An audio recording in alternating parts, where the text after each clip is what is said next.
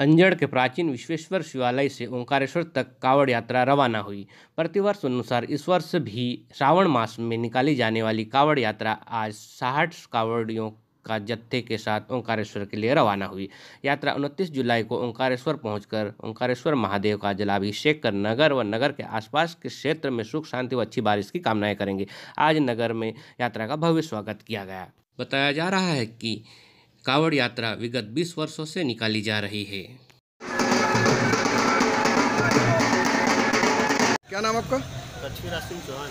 ये कावड़ यात्रा का कहाँ से कहाँ तक आयोजन हो रहा है? ये अंजार से ओमकारेश्वर के लिए कावड़ यात्रा निकाली है। कितने दिन की रहेगी कावड़ यात्रा? ये पाँच दिनों की कावड़ यात्रा है कितने सदस्य जा रहे हैं कावड़ में? इसमें साठ सदस्य जा रहे हैं। तो कावड़ का मुख्य उद्देश्य क्या है? कावड़ का मुख्य उद्देश्य अंजन नगर के क्षेत्र एवं आसपास की जनता की सुख शांति समृद्धि एवं अच्छी बारिश की कामना हेतु लगातार बीस वर्षों से कावड़ यात्रा का आयोजन किया जाता आ रहा है।